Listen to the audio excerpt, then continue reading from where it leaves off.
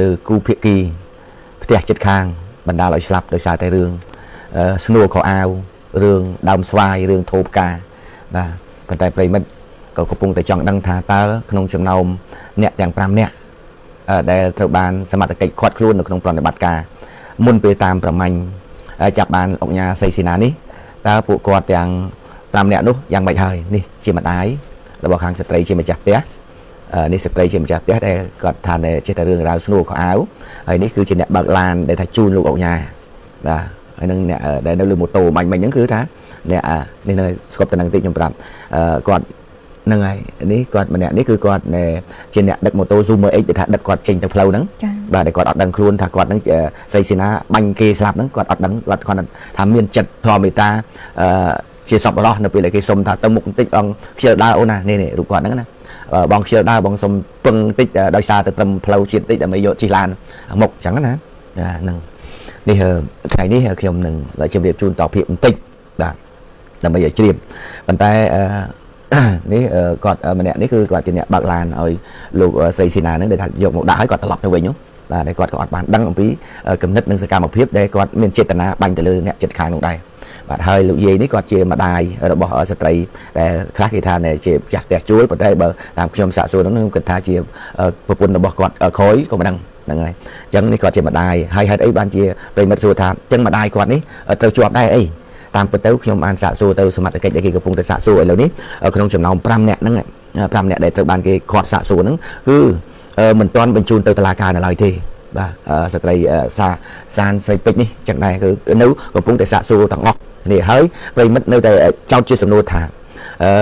តើបុគ្គលជាអ្នកប្រព្រឹត្តទង្វើដែលធ្វើសកម្មភាពផ្ទាល់ត្រូវបានចាប់ហើយប៉ុន្តែក្នុងចំណោមអ្នកទាំង5អ្នកនេះឲ្យគាត់ជាប់គុកដែរឬយ៉ាងណាព្រោះសកម្មភាពអ្នកប្រព្រឹត្តមានតែម្នាក់ហើយចំណុចនេះខ្ញុំចង់ជម្រាបជូនប្រិមិត្តពិសាបានតិចដើម្បី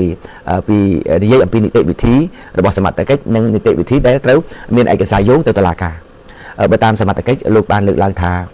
នៅក្នុងរង្វង់ប្រតិបត្តិការភ្លាមភ្លាម មនុស្សដែលសង្ស័យគឺត្រូវយកទៅសិនហើយបាទត្រូវយកទៅសិនហើយអឺទោះបីក្នុងកម្រិតមួយមិនទាន់គិតថាគាត់ជាអ្នកសុំកលុំគប់គិតសំកំណត់ពិតក៏ដោយប៉ុន្តែសង្ស័យយកទៅសិនប៉ុន្តែក្នុងចំណោមសង្ស័យហ្នឹងក៏នៅតែកសាងនីតិវិធីដើម្បីដាក់ទៅតុលាការរឿងតុលាការសម្រេចថាអឺមិនអាចឲ្យគាត់ជាប់ទេត្រូវឲ្យគាត់ត្រឡប់មកផ្ទះវិញអាហ្នឹងជាប់តែស្ថិតនៅក្នុងដៃតុលាការបាទនៅតុលាការហ្នឹងហើយចឹងឥឡូវនេះគឺកំពុងតែកសាងសំណុំរឿងអញ្ចឹងបានជាបន្តសាកទូអត់ទាន់ចប់ទី1អឺ ភាគីខាងម្ដាយខាងម្ដាយនោះតើជាប់ពាក់ព័ន្ធអីគាត់គ្រាន់តែនៅផ្ទះនោះគេគ្រាន់តែសួរថាតើដើមចំជាអ្នកអឺទូរស័ព្ទទៅឲ្យលោកអុកញ៉ានឹងមកជួយឆ្លោះជួយរឿងបកករឿងជួយកម្ចាត់អឺសត្រូវដែលចេះតែរឿងជាមួយយើងផ្ទះជិតខាងហ្នឹងឬយ៉ាងម៉េចគេសួរហេតុផលអាហ្នឹងអតាក់ទងមួយជាមួយនឹងកូនរបស់គាត់គឺគេសួរហេតុផលអញ្ចឹងដែរថាតើពេលហ្នឹងគាត់ទេទៅលោកអុកញ៉ានឹងឲ្យមកជួយឆ្លោះឲ្យមកបាញ់ ឬយ៉ាងម៉េចឬក៏គាត់ឲ្យមកធម្មតាឬក៏គាត់មកធម្មតាដើម្បីសួរនាំរឿងអាអាស្នួរខោអាវចុងក្រោយហ្នឹងនេះចង់ជម្រាបជូនអញ្ចឹងប៉ុន្តែយ៉ាងណាក៏ដោយអ្នកដែលដៃដល់ច្បាប់បានចែងច្បាស់ណាស់អ្នកប្រព្រឹត្តអ្នកធ្វើសកម្មភាពផ្ទាល់គឺអ្នកទទួលបាទអ្នកទទួលហ្នឹងហើយឥឡូវយើងឃើញហើយគាត់ទទួលស្គាល់ហើយជាមួយនឹងសកម្មភាពរបស់គាត់ដែលបានបាញ់ដែលបានធ្វើសកម្មភាពថាយ៉ាងម៉េចថាដោយសារតែឆ្លោះហើយខាងពាក្យពីខាងអ្នកស្លាប់នោះថាប្រើពាក្យហែងអញអឺមើងងាយគាត់នឹងនាមគាត់ជាមនុស្សចាស់ជាងបាទ ហ្នឹងហើយអញ្ចឹងនេះជារឿងរ៉ាវចុងក្រោយនេះបាទអញ្ចឹងត្រឡប់មកវិញនៅពេលនេះគឺខ្ញុំចង់និយាយតែរឿងឥឡូវនិយាយរឿងនេះមួយទៀតនេះនៅរូបនឹងសិនសាច់ហើយតែរូបនេះសិនខ្ញុំនិយាយរឿងនេះតិចណែតាក់តងជាមួយនឹងរឿងឈរមិញនេះរូបភាពឈរមិញណានេះហ្នឹងតនេះស្គប់តហ្នឹងតិចចំណុចនេះមហាជននៅក្នុងបណ្ដាញសង្គមលោកបានរិះគន់ទៅលើសមត្ថកិច្ចក៏នគរបាលសុកអង្គស្នួរថាហេតុអីបានជា បុគ្គលខ្មាន់កំភ្លើងបាញ់គេស្លាប់ទៅហើយបែរជាសមត្ថកិច្ចទៅខាត់ខ្លួនគាត់ហើយអត់វាយខ្នោះ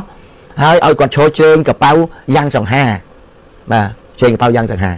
ចំណុចនេះខ្ញុំបានជួបជាមួយនឹងខាងមន្ត្រីនគរបាលដែលគាត់ប្រតិបត្តិការផ្ទាល់ចា៎គាត់លើកឡើងចេះតាមពិតទៅលោកអង្គការស្រីសេនានេះគឺគាត់ក្រោយពេលដែលគាត់បានគិចពីបរិយពេញហួតបឹងស្នោនេះទៅគាត់ជិះឡានទៅទៅឈប់នៅសៃកែវ នៅអាស័យកែវគាត់ឲ្យគាត់យកឡានមួយទៀតនៅអាស័យកែវនោះផ្ទះគាត់នៅមួយទៀតបាទជិះឡានតាគាត់មួយទៀតហ្នឹងបើកតែម្នាក់ឯងទេគិចខ្លួនដោយបើកទៅតាមផ្លូវបឹងតមុកបានន័យថាទៅតាមឡុងឈិនតាមផ្លូវផ្សារព្រែកភ្នៅបុកឡើងទៅភ្នំប្រសិទ្ធហើយអឺគាត់ឡើងទៅតាមភ្នំភ្នំហួសភ្នំប្រសិទ្ធទៅកន្លែងចំណុចនោះដោយសារតែភូមិសាស្ត្រនោះខ្ញុំស្គាល់ច្បាស់សុខកំណើតនៅខាងខ្ញុំណាខ្ញុំស្គាល់ច្បាស់គឺចាប់បានគាត់នឹងនៅចំណុចភូមិតុងកវៀនភូមិតុងកវៀនគឺកាត់តាមភូមិតាពាំងថ្នោត ភូមិតាពាំងថ្នោតហ្នឹងគឺជាសុខកំណើតដែលឯកឧត្តមនិតសវឿនគាត់សុខកំណើតទាំងដែរអញ្ចឹងបាននេះខ្ញុំនិយាយនេះដោយសារតែភូមិសាស្ត្រនៅខាងនោះខ្ញុំស្គាល់ច្បាស់អញ្ចឹងលោកអុកញ៉ាហ្នឹងគឺគាត់បើកឡានហ្នឹងទៅដល់ភូមិទុំកវៀនហ្នឹងគឺចិត្តផ្លូវជាតិ51បាទផ្លូវជាតិ51តែនៅក្នុងទឹកដីសុកអង្គស្នួលទេបាទពួកអាខាងផ្លូវ51ហ្នឹងអាខាងលិចផ្លូវខេត្តពងស្ពឺខាងកើតផ្លូវសុកអង្គស្នួលខេត្តកដាលបាទអញ្ចឹងចិត្តដល់ផ្លូវ51ទៅហើយដែលសមត្ថកិច្ចគាត់ទៅទីនោះគាត់គាត់ហ្នឹងគឺអឺអត់ដែលគាត់ធ្វើឲ្យសាកសួរទៅលើគាត់គឺគាត់អត់ទាន់ដឹងថាគាត់នឹងជាអ្នក ជនដៃដល់ជាអ្នកខ្មាំងកំភ្លើងនឹងដែរបាទបានជាអត់មានការវាយខ្នោះអត់មានការចាប់គ្រាកអីឲ្យប្រទៀងបតុងពេលនោះអឺពេលឡានគាត់មកក៏គាត់សង្ស័យសង្ស័យអឺប៉ូលីសនោះក៏គាត់ថាគេបោះដៃមកថាឡានប្រភេទលេខប្រហែលម៉ាននេះឡានគាត់មិញអាឡានមិញថាឡានហ្នឹងត្រូវបានគេខាត់នៅឯអាស័យកែវទៅហើយប៉ុន្តែសត្វតែឥឡូវបែរជាលេខឡានហ្នឹងសត្វតែជិះមកដល់ អ៊ីអ៊ីចិត្តផ្លូវ51នឹងដែលធ្វើឲ្យសមត្ថកិច្ចនៅនោះគាត់អត់ទាន់វាយខ្នោះគឺសង្ស័យអញ្ចឹងក៏គាត់គាត់សង្ស័យទេបាទសង្ស័យទេដល់អញ្ចឹងទៅអឺគាត់នៅក្នុងឡានសាកសួរអីចឹងទៅគាត់គាត់ពាក់មួកទាហានអាវស៊ីវិលអញ្ចឹងគាត់មិនវងគាត់និយាយអញ្ចឹងទៅសមត្ថកិច្ចគាត់អត់ទាន់ខាងលើបោះដៃថាជាមុខសញ្ញាពិតប្រាកដទេណាបាទដល់អញ្ចឹងចាប់ដើមសួរគាត់សួរគាត់ក៏ចុចកញ្ចក់និយាយជាមួយប៉ូលីសខាងក្រៅហ្នឹងនិយាយលេចអញ្ចឹងទៅ បាទប្រហែលជាគាត់គិតថាប្រហែលនេះគាត់មិនរួចខ្លួនទេបែបប៉ូលីសគេចាប់ដើមសួរមកដឹងនេះគាត់ក៏ហុចទៅភ្លើងឲ្យសមត្ថកិច្ចធម្មតាអញ្ចឹងហើយបានជាសមត្ថកិច្ចថាអុញហ្នឹងហ្នឹងបាទហ្នឹងហើយអញ្ចឹងគាត់ក៏និយាយព្រាមទៅថាដោយសារតែគាត់ទុកកំហឹងមិនបានខឹងពេកក៏បាញ់ទៅអញ្ចឹងបានសមត្ថកិច្ចនោះបានចាប់ដើមដឹងដឹងថាអូមុខសញ្ញាគាត់ពិតប្រាកដហើយណែនេះដែលគាត់ចង់និយាយថាអត្តបងដែលអត់បានបៃខ្នោះអត់បានអីគឺដោយសារតែវាខ្លាចសមត្ថកិច្ចនេះគាត់អនុវត្តដោយសង្ស័យបៃខ្នោះគេព្រាមព្រាមវាច្រឡំវារឿងបលិស នេះតាមការបញ្យល់របស់ខាងនគរបាលនៃស្រុកអង្គស្នួលបាទស្រុកអង្គស្នួលប៉ុន្តែចំណុចមួយទៀតពេលមានមានឥឡូវខ្ញុំនិយាយដោយសារតែខាងសមត្ថកិច្ចស្រុកអង្គស្នួលគាត់បញ្ជាក់ប្រាប់ខ្ញុំគាត់នឹងចម្លែកមួយទៀតពេលទៅចាប់ដើមវាយខ្នោះគាត់វាមិនដឹងយ៉ាងម៉េចអាខ្នោះនោះវាយរបូតវាយរបូតណែចឹងវាយខ្នោះវាយរបូតវាយរបូតអឺដល់ចឹងទៅ មានសមត្ថកិច្ចម្នាក់គាត់ដែលមានគាត់ជំនឿអំពីនៃនៃគេហៅថាវត្ថុស័ក្តិសិទ្ធិចាអឺជឿអំពីវត្ថុស័ក្តិសិទ្ធិគាត់ថាអឺអុកញ៉ានេះមានជុំកន្លងគាត់ពាក់នឹងកកមែនអឺមានជុំល្អទេដឹងតែពាក់ថានៅខ្លួននៅជាប់ខ្លួនគាត់អឺមានជុំកន្លងអញ្ចឹងសមត្ថកិច្ចដែលស្រុកអង្គនេះគាត់ថាគាត់ដែលធ្លាប់ធ្វើអឺនៅកងកម្លាំងដែលលបវាយនៅតាមសង្គ្រាមគឺថាបើនិយាយរួមឈ្មោះថាជុំកន្លងនេះគឺជាវត្ថុស័ក្តិសិទ្ធិសម្រាប់ការពារខ្លួន នៅពេលដែលយើងទៅដែលធ្វើសង្គ្រាមអីហ្នឹងណាគេគេជឿជាក់តែអញ្ចឹងខាងម៉ាត់ទិញគាត់ឃើញថាអញ្ចឹងបានជាពិបាកវាយខ្នោះណាអញ្ចឹងទៅពេលដែលដឹកគាត់តាមឡានហ្នឹងមកណាអត់ទាំងវាយខ្នោះទៅទៀតនេះបើវាយខ្នោះនៅក្រសួងមហាផ្ទៃនេះតែពេលសាកសួរនេះអីអាហ្នឹងខ្ញុំនិយាយរៀងរៀងរបៀបកន្លែងចំណុចខ្លះបងប្អូនដែលមិនគួរជឿនៅអបិយជំនឿប៉ុន្តែសមត្ថកិច្ចដែលគាត់អ្នកចាប់គាត់ជឿនៅពេលដែលគាត់ធ្លាប់ស្គាល់អាហ្នឹងចា៎បាទរហូតដល់គាត់ចុងក្រោយគាត់ប្រើប្រាស់គាត់និយាយថា គាត់អស់លុយអីក៏អស់ទៅប៉ុន្តែគាត់ការពាររបស់ខ្លួនគាត់កុំឲ្យបាត់គាត់លេងលេងឡើងចឹងហ្នឹងហើយនេះខ្ញុំនិយាយនៅរឿងវាកពិកកប៉ុកបន្តិចបន្តួចប៉ុន្តែគាត់ណាខ្ញុំជឿជាក់ថាប្រិមត្តខ្លះក៏គាត់ចង់ដឹងអាបន្តិចបន្តួចហ្នឹងដែរបាទចង់ដឹងបន្តិចបន្តួចដែរបាទចឹងចាស់បាននៅចិត្តផ្លូវ51បាទមិនមែននៅផ្លូវជាតិលេខ4ទេបានន័យថាគាត់រត់ចេញទៅហ្នឹងគឺគាត់បើកឡានតែម្នាក់ឯងគាត់បាទម្នាក់ឯងគាត់គឺ ទៅតាមភ្នំប្រសិទ្ធអញ្ចឹងទៅចាប់បាននៅលេខភ្នំប្រសិទ្ធបាទហើយទោះបីចម្លើយរបស់គាត់គាត់ឆ្លើយពីអង្គហេតុដែលនាំឲ្យគាត់ទុកចិត្តមិនបានបាញ់សម្លាប់ទៅឆ្លើយយ៉ាងណាក៏ដោយនេះគ្រាន់តែជាចម្លើយភ័ស្តុតាងដែលសមត្ថកិច្ចសម្រាប់ដាក់បន្ទុកបញ្ជូនទៅតុលាការតែប៉ុណ្ណោះបាទប៉ុន្តែទោសទណ្ឌរបស់គាត់បានកើតមានរួចទៅហើយបាទរួចទៅហើយហ្នឹងហើយ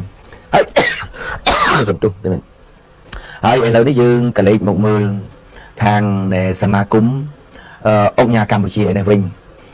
ក្រោយពេលដែលមានឈ្មោះអុកញ៉ាងារជាអុកញ៉ាគាត់បានប្រព្រឹត្តនៅអំពើល្មើសច្បាប់ឃាតកម្មបាញ់សម្លាប់ទៅលើមនុស្សបែបនេះហើយខាងសមាគមអុកញ៉ាកម្ពុជាក៏បានចេញលិខិតនៃប្រកាសមួយដើម្បីឲ្យសាធារណជនបានជ្រាបថាជាការពិតអង្គញាស្រីស៊ីណានេះពិតជាមានងារក្រុមងារអង្គញាពិតប្រកបមែនគ្រាន់តែគាត់អត់មានឈ្មោះនៅក្នុងសមាជិកអឺរបស់សមាគមអង្គញាអត់សមាជិកចូលជាសមាជិកណាតែគាត់មានក្រុមងារហ្នឹងមែនបាទប៉ុន្តែឥឡូវនេះនៅសមាគមអង្គញាកម្ពុជាហ្នឹងគឺបានស្នើសុំទៅទៅរាជរដ្ឋាភិបាលដើម្បីដើម្បីនៃការថាដកដកងារនៅអង្គញាចេញ ដើម្បីកុំឲ្យវាប៉ះពាល់ឈ្មោះសម្រាប់អង្គញាលោកអង្គញាអ្នកអង្គញាដតីទៀតដែលគេបានធ្វើល្អសម្រាប់សង្គមឥឡូវនេះបើទោះបីចម្លើយរបស់គាត់គាត់បាននិយាយថាគាត់កាលពីគាត់អត់ទាន់បានប្រព្រឹត្តអំពើទាំងអស់នេះគឺគាត់បានជួយសង្គមច្រើនណាស់គាត់បានលើកឡើងគាត់ជួយសង្គមច្រើនណាស់ទាំងមនុស្សធម៌ទាំងការងារអីផ្សេងផ្សេងគាត់គាត់និយាយពីរឿងគាត់ដែលបានជួយ គាត់បានជួយច្រើនប៉ុន្តែទង្វើនឹងអំពើល្អដែលយើងបានជួយកន្លងមកវាបានរលុបនៅពេលដែលយើងបានប្រព្រឹត្តនៅអំពើអាក្រក់មួយដែលរហូតដល់ឲ្យមានមនុស្សស្លាប់បាទតែបើសិនជាលោកអង្គញារូបនេះគាត់ទុកចិត្តបានណាអត់ធ្មត់បាន តែបន្តិចនោះគេឈ្មោះរបស់គាត់នៅតែបន្តគេគ្រប់គ្រងបាទបន្តគេគ្រប់គ្រងបាទអញ្ចឹងឥឡូវនេះទោះបីលោកបានលើកឡើងពីគុណសម្បត្តិការពីលោកមិនទាន់បានប្រព្រឹត្តអីប្រាក់ទៅសម្បត្តិកិច្ចក៏ដោយ បាទគេគ្រាន់តែជាជាជាគេថាកំណត់ការជាភ័ស្តុតាងជាចម្លើយតែប៉ុណ្ណោះហ្នឹងហើយអញ្ចឹងនេះខ្ញុំលើកយកវាចំណុចខ្លះខ្លះដើម្បីឲ្យប្រិមិត្តជ្រាបកាន់តែច្បាស់ហើយណែខ្ញុំក៏បានជួបជាមួយនឹងអឺអ្នកដែលស្គាល់លោកអុកញ៉ានឹងពីប្រវត្តិមុនមុនដែរគាត់អ្នកខ្លះគាត់និយាយថាគាត់ទៅឲ្យប៉ុន្តែគាត់ជាមនុស្ស ពីមុនយើងនិយាយថាពីមុនដែលគាត់បានប្រព្រឹត្តនៅអំពើនេះគឺគាត់ពិតជាមានចិត្តល្អមានការជួយគេមែនទទួលស្គាល់តែជួយគេមែនហ្នឹងហើយប៉ុន្តែធ្វើម៉េចបើនៅពេលវេលានេះគាត់ប្រព្រឹត្តអញ្ចឹងទៅអ្នកណាគេទៅជួយបានអ្នកណាទៅការពារបានបាទទោះបីមានលុយប៉ុន្មានមានអំណាចប៉ុណ្ណាក៏គេជួយអត់បានដែរដោយសារទង្វើអាក្រក់នេះអឺត្រូវបានគ្របដណ្ដប់អស់នៅអំពើល្អទាំងឡាយបាត់ទៅហើយហ្នឹងហើយនេះមកវគ្គនេះសូម ឈុតនឹងតិចទៅចោះក៏ប៉ុន្តែនៅក្នុងបរិយាពេញហួតឯនេះវិញខ្ញុំអឺឃើញមានដើរហាត់ប្រាណអីនឹងបរិយាទេឃើញមានបងប្អូនអ្នកផ្ទះនៅផ្សេងផ្សេងឃើញកាប់មេឃស្វាយច្រើនបាទហើយសួរទៅថាមិនហើយមានកាត់មេឃស្វាយរឿងអីហ្នឹងក្មួយឲ្យដឹងមិនវាលូតលឿនពេកវាចិត្តទៅលយទៅដីគេវាចិត្តទៅលយទៅផ្លូវឥឡូវនឹងកាត់ចេញហើយហើយចឹងតែរឿងនោះមិនមែនអើវានៅវាភ្ជាប់រឿងនឹងផងណាមួយវា អើកុំអោយវាចិត្តតែមានអារម្មណ៍នឹកឃើញទៅនោះអាអញ្ចឹងក៏គាត់លួសមេឃលួសអីហើយអញ្ចឹងទៅបាទបាទនេះមិនមែនជាការលេងសើចនិយាយដើម្បីគាត់តែសប្បាយលើកំណត់ទុកគេកើតទុកទេប៉ុន្តែរឿងនេះមួយធ្វើឲ្យអ្នកដែលមានគំនិតដែលគុំគួនគ្នាគុំគួនដោយសារតែរឿងអញ្ចឹងក៏ខ្លះក៏ចាប់ដើមយល់ឃើញអំពីចំណុចដែលត្រូវកែលម្អដែរតែអ្នកដែលមិនកែនោះគឺថាអានឹងវាតាមនឹងតែស្អីតែគាត់អញ្ចឹងមិនថាចំនួនដែលកើតឡើងកើតឡើងចេញពីស្នូកអាវ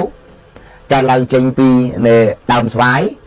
បាទកើតឡើងចេញពីថោផ្កាកើតឡើងចេញពីធុងសម្រាមបាទកើតឡើងពីការចតឡាននេះជាចំណុចប្រមូលផ្ដុំនៃរឿងយូរយូរទៅធ្វើឲ្យអាងងើកភ្លើងហ្នឹងវាងុំហើយឆេះទៅជាអណ្ដាតភ្លើងបាទអញ្ចឹងសូមបងប្អូនប្រជាពលរដ្ឋរបស់យើងដែលរស់នៅជាមួយចិត្តគ្នាសូមមេត្តាអឺ រាប់អានគ្នាស្រឡាញ់គ្នាលុះលុះតិចតួចយើងចេះអត់ធ្មត់គ្នាទៅវិញទៅមកបាទក៏ប៉ុន្តែកុំអោយអឺនៅភាគីមួយខាងខំខំអត់ធ្មត់ខំព្យាយាមដើម្បីឲ្យបង្កើតតំណែងតំណងល្អប៉ុន្តែភាគីមួយខាងទៀតនៅតែលើសដដែលដដែលដដែលអានឹងវាខ្លាចកេងលូវាទៅជារឿងអញ្ចឹងបាទកេងលូទៅជារឿងអញ្ចឹងប៉ុន្តែវាអត់មានអីចំណេញទេឥឡូវឧទាហរណ៍ថាឥឡូវលោកអង្គញានឹងគាត់បានសម្រេចនៅបំណងរបស់គាត់ទៅហើយប៉ុន្តែសួរថាតើគាត់មានសេរីភាពអត់ តើគាត់មានសេចក្តីសុខអត់បាទអានឹងប៉ុណ្ណឹងទេបាទយើងសូមបញ្ជាក់ប៉ុណ្ណឹងទៅចុះរឿងនេះព្រោះដោយសារនៅខាងក្រៅទវាឯងបានឃើញមហាជនបានបញ្ចេញមតិដែរវិញបាទចានៅក្នុងក្នុងខមមិនបងប្អូនយើងគាត់បញ្ចេញមតិច្រើនអ្នកខ្លះក៏អឺរំលឹកសាវតាខ្លះចឹងទៅថាពេលខ្លះអឺការអត់ទ្រាំមានកំណត់អីចឹងទៅខាងខ្លះទៀតក៏ថាមិនគួរណាឈានទៅដល់រឿងចឹងទេចឹងបានន័យថាក្នុងរឿងមួយ ក្នុងនាមយើងជាអ្នកនៅខាងក្រៅសាច់រឿងណាយើងគួរតែព្យាយាមនៅកណ្ដាលឲ្យបានច្រើនបើសិនជាយើងផ្អៀងទៅម្ខាងម្ខាងទៀតគាត់ថាផ្អៀងទៅម្ខាងម្ខាងទៀតគាត់ថាអញ្ចឹងក្នុងនាមជាអ្នកព័ន្ធ